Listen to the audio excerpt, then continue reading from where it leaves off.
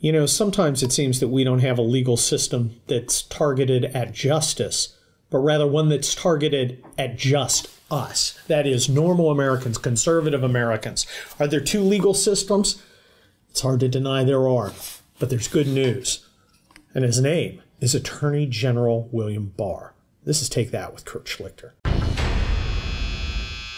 If you're into that weird thing called justice, you were really excited to see Attorney General Barr getting out there in front of Congress this week saying the very thing that the elite didn't want to hear. That is, you're going to be held accountable. You're going to be held accountable for spying on the administration. You're going to be held accountable for lying to Congress. You're going to be held accountable. Now, for so long, we hadn't seen that. We'd seen these members of the ruling class, these people doing the bidding of our liberal overlords, getting away with felonies left and right in our faces. Look at the IRS scandal. Did anyone get prosecuted there? Nope. Heck, let's go back to 2008 when the whole economy almost collapsed. Did anybody get prosecuted there? Nobody you ever heard of. Instead, they got handed a bunch of our money to make good on their losses.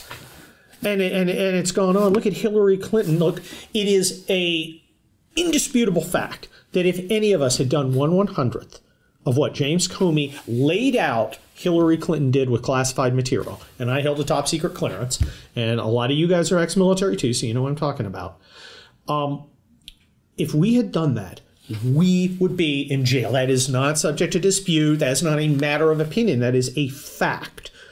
And of course, Jim Comey uh, extended, uh, you know, Her Majesty professional courtesy. She was a key member of the elite, and she got to walk. She got to walk where we've been prosecuted, and we've seen it too. How about Clapper? How about Brennan? How about Comey himself? You know, it's been a year since Andrew McCabe was referred for prosecution for lying through his teeth to Congress. A year ago. Has he been prosecuted? Nope, not yet. Not at all.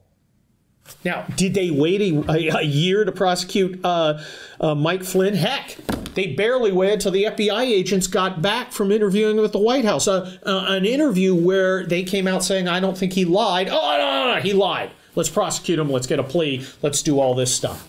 It's garbage. You cannot have a republic with a dual track justice system. That is not a republic. It's a banana republic. It's a dictatorship.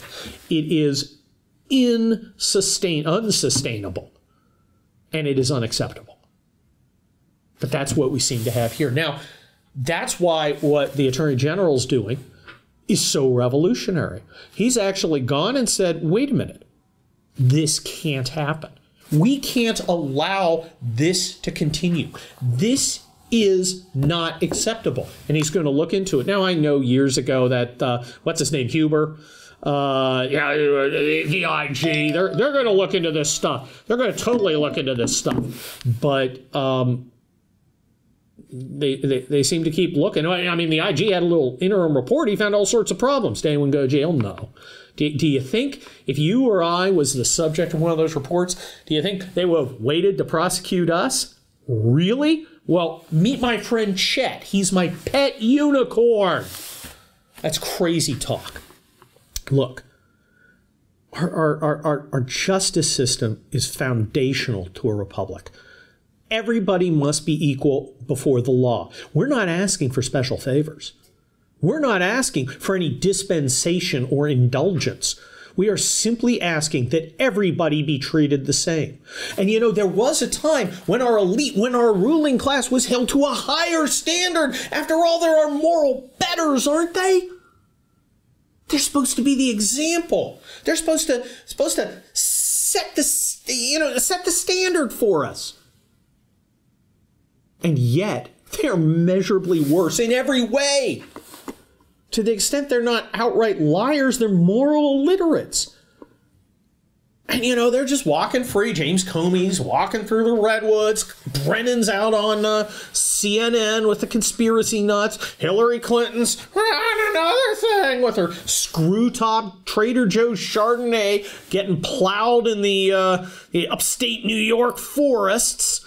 They're all free. They're all cool. We wouldn't be. You can't have that. It doesn't work. A free society depends on everybody being equal before the law. That's why, you know, when you have Lady Justice, she's got a sword, she's got the scales, and she's got a blindfold so she can't see who's in front of her. Is that too much to ask? Apparently it is. Because our justice system, until now, until this, this, this tiny glimmer of hope that the Attorney General has presented by, by promising accountability, for so long we have seen that it's it, it, it's just a tool. It's a tool for the ruling class to suppress us. Gosh, I sound like a Marxist. It's crazy talk, and yet it's true. It's true. Tell me it's not.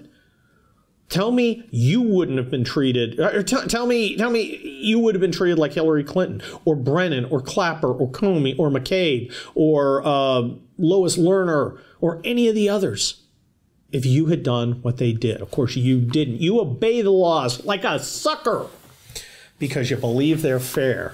You believe they're evenly applied. You believe that everyone's equal in front of the law. Well, you know, everybody should be. And we can't back off, not for a second, from that standard. We're not asking to change the rules. We're asking, well, I'm not, we're not asking anything. We're demanding they be changed back. This is Take That with Kurt Schlichter.